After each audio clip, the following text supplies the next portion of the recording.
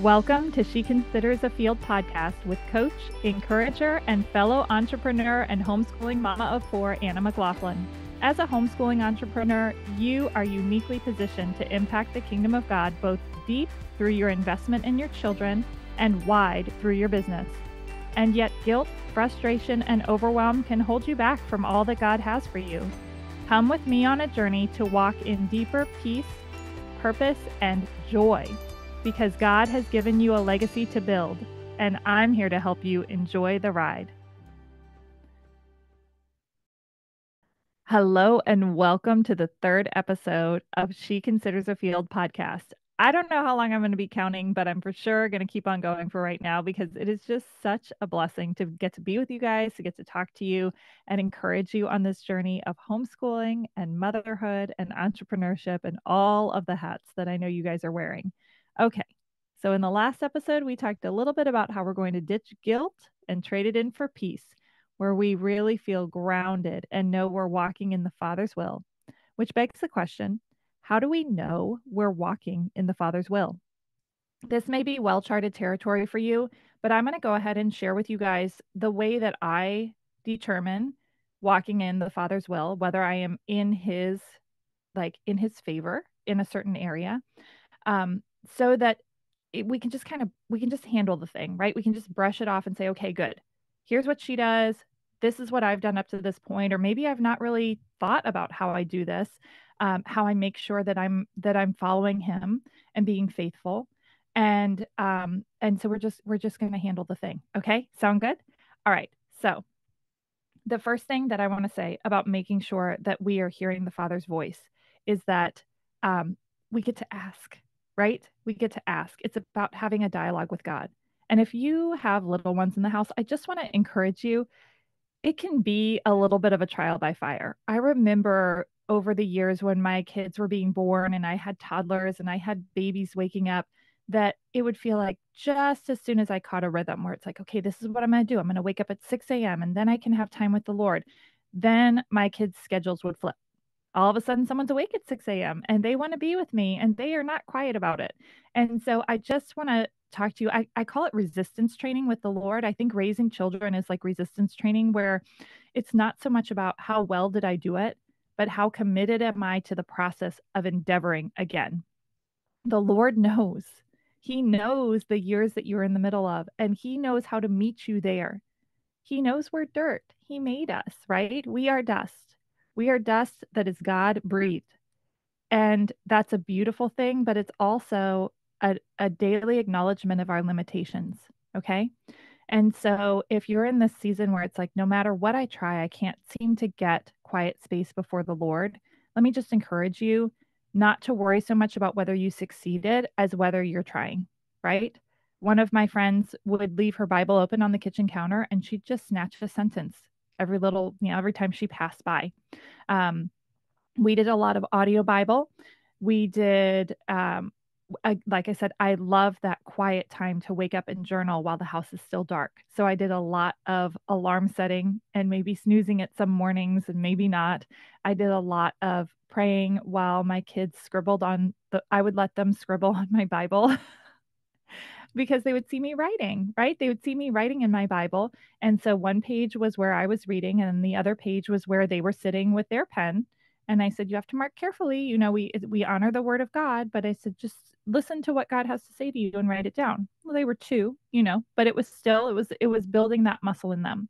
Same with my prayer journal. As I would journal my prayers, they'd be scribbling on the other page, right? So, um, so we exercise the muscle of asking the Lord and understand that he knows how to speak to you in the season that you're in. So if you're racing around and life feels crazy and you're like, I'm trying to get quiet time with the Lord, I'm trying to get a moment to hear his voice, um, he knows how to catch you, right? All you need to do is want to be caught. And so we just trust in the goodness of God. And we and I love this passage in James 1, um, starting in verse 5. If any of you lacks wisdom, let him ask God who gives generously to all without reproach, and it will be given him.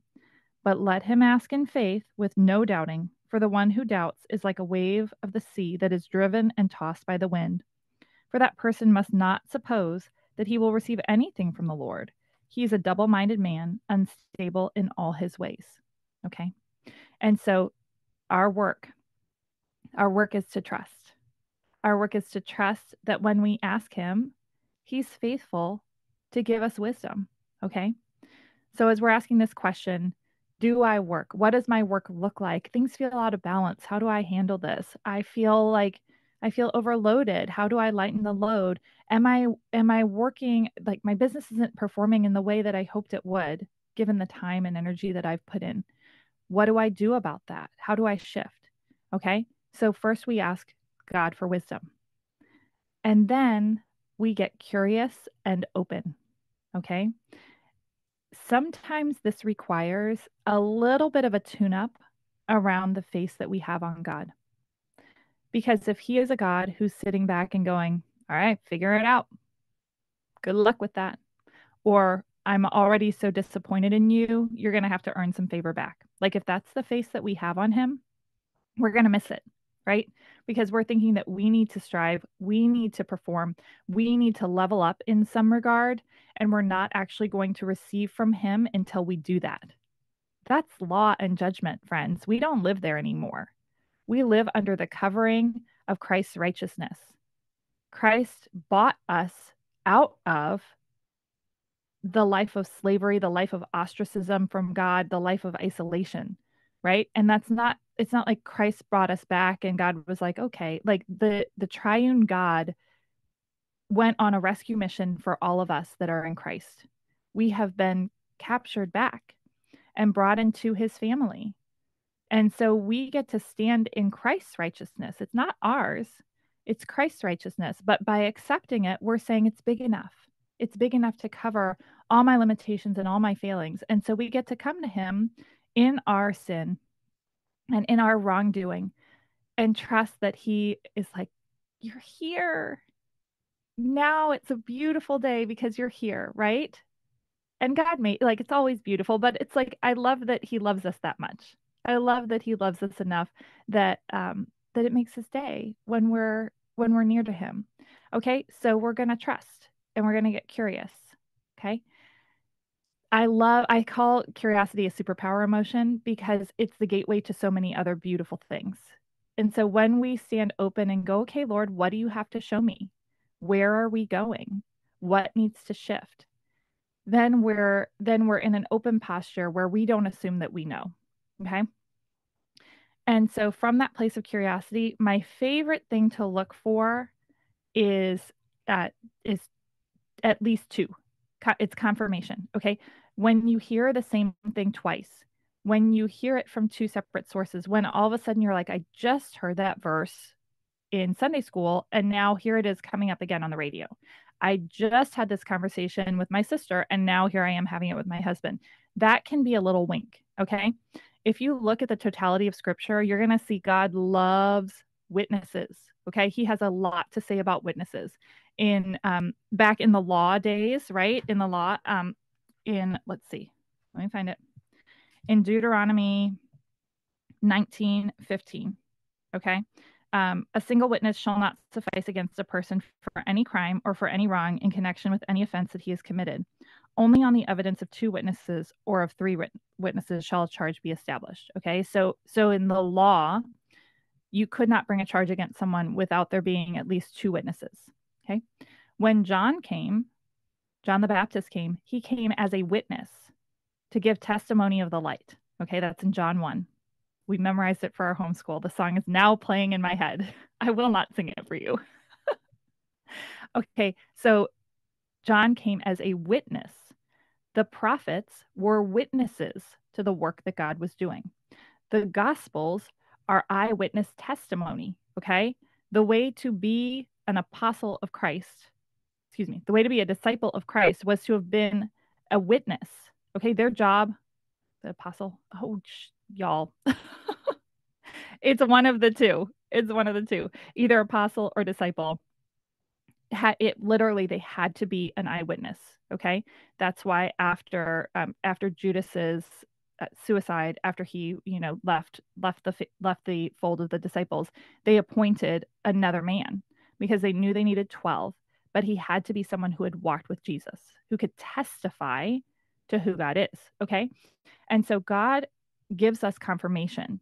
He he does it all through scripture about the most important thing, which is who is God. Okay. Um, and who are we and all of that stuff. Who are we in relation to God? He does it too in our little things. Okay. He's so kind to confirm for us. Yes, this is the way I'm calling you to walk. Yes, this is the thing I'm going to call you to do. So be looking for that um, that confirmation. Okay, for things to come up twice. You can also um, just you know go to your wise counsel people. Right. I have a short list of folks that I go. Okay, I go to God first, always, and then I go to like and i see what else he's doing like what's coming up when i read the bible what's coming up in my prayer time and then after i've kind of incubated there then i go to my close people my people who love the lord my people who are doing the thing they're walking it out with god they're listening to the lord. You'll know them because they're making changes in their lives that maybe other people don't understand but they live before the audience of one. And so they're walking in this courage and they're walking in this in this um, life uncommon right?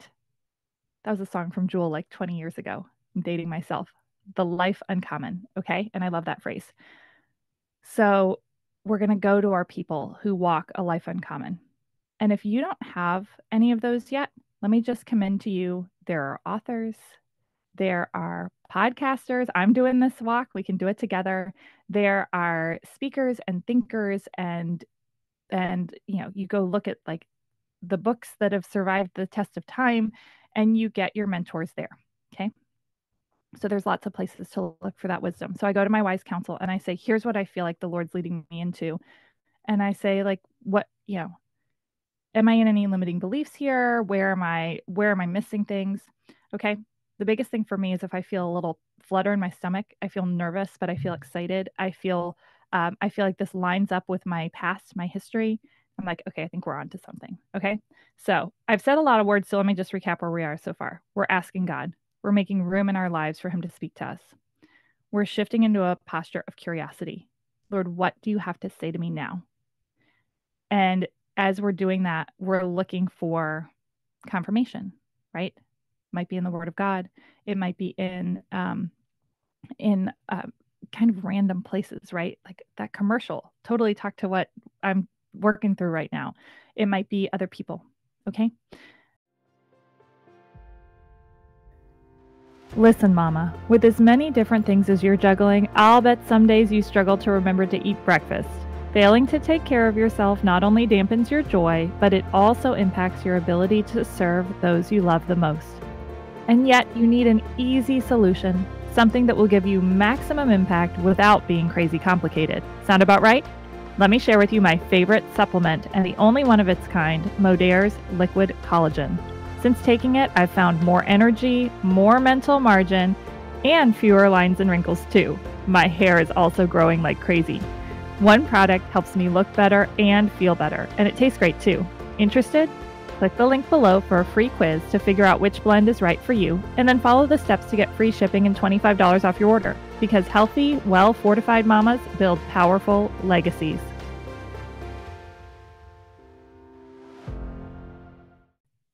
And um, and then the last thing that we're doing is we we get in motion. Okay. So the um, the natural often reflects or honors the spiritual. And so, one of my favorite pictures of this is Newton's first law of motion. I've got a song for that too from our homeschool journey. Newton's first law of motion states that for uh, no no no no now I'm singing it wrong. Newton's first law of motion says an object at rest. Can't believe I'm singing to you guys. Tends to remain at rest, and an object in motion all right, now I can say it. An object in motion tends to continue moving in a straight line, basically, unless an outside force acts upon it. Okay. I'm like, do I cut this out? We're going with it. You are my people. You're going to know me for what I am. Okay. So, and I'm a, I sing, if nothing else. I sing. Okay, so objects in motion tend to continue moving. We need to be in motion, okay? As hard as it is, man, as much as we want to just sit at the feet of the Father and go, Are you sure? Is this really what we're doing? But what about this? And how's this going to go? Get up and walk. Get up and walk. And I take you guys back to um, to a, a passage in the Bible that we're going to talk about so many times, which is the parable of the talents. Okay. The servants were given one, two, and five talents, right? And the master was gone for a really long time. And the two talent and five talent servant knew who their master was. And they got up every day and they did their work. You cannot double an investment without getting up every day and doing the work for a really long time. Okay. There's a, um, it's not in scripture, but a parable of sorts that um, is called a single grain of rice. It's a great story to read to your children too. And it talks about a man who um, he does something great for the emperor. And the emperor says, What what do you want? I'll give you anything. And the man was very, very wise. And so he said, I would like a single grain of rice doubled every day for 30 days. And so the emperor thought this was ridiculous, but he failed to do the math. So he starts paying this guy one grain of rice, two grains of rice, four grains of rice, eight, 16. Well, for a long time, for the first maybe 15, 20 days, it's almost a laughably small amount of rice.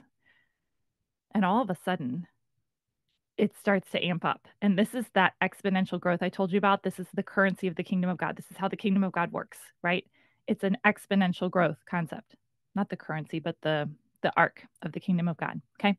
All of a sudden, the volume kicks up to such a staggeringly high amount that the emperor's kingdom would be bankrupt by the time they get to days like 26, 27, 28, somewhere in there, to the point where the emperor has to redeem the loan, like redeem what was due to this servant to this man, and he was like a he was a peasant or something, um, by essentially giving him the kingdom.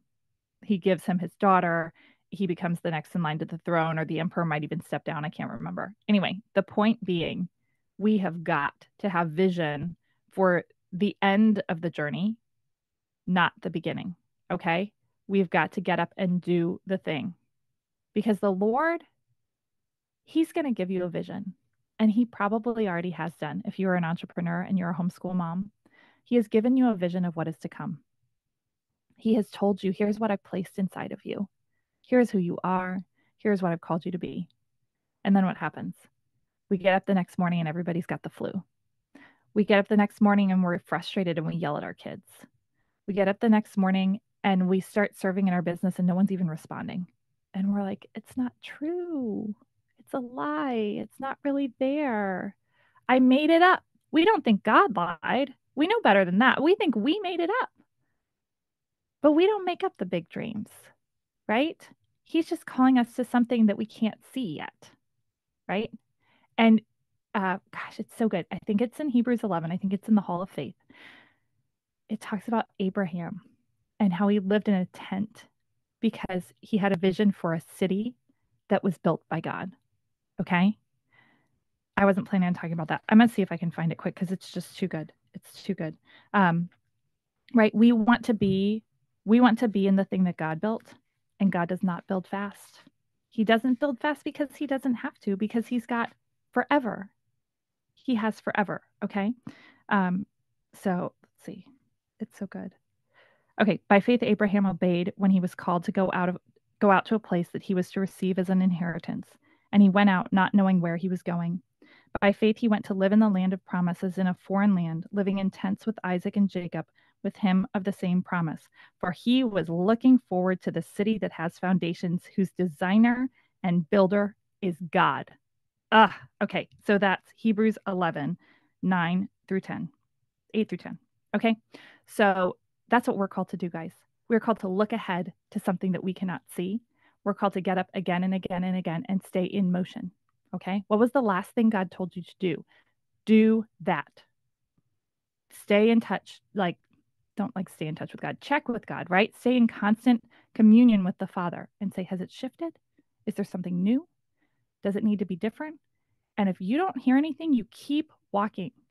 The master was gone for a very long time, and the servants had to be faithful there. Is this still what he wants us to do? Is this a wise investment? What do I do with this?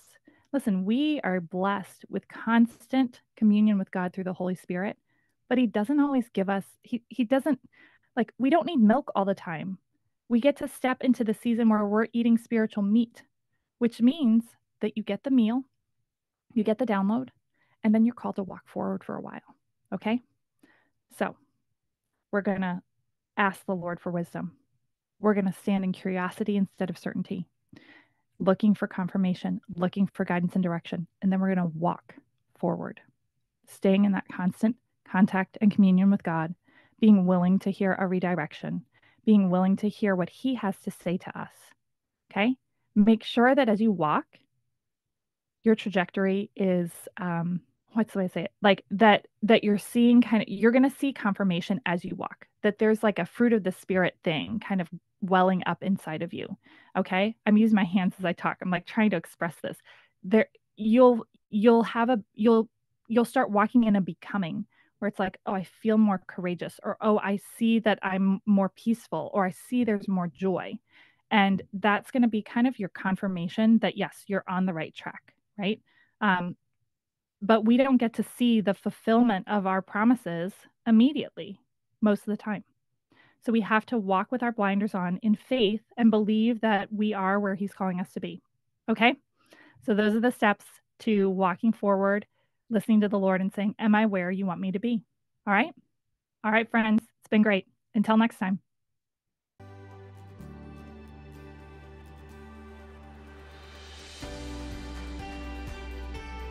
Thank you so much for joining us for this episode of She Considers a Field. If you found value in this episode, I would be so grateful if you would leave a review wherever you listen to your podcasts and be sure to share with a friend who needs some encouragement on her journey today, too. Until next time, remember, you've got this because he's got you.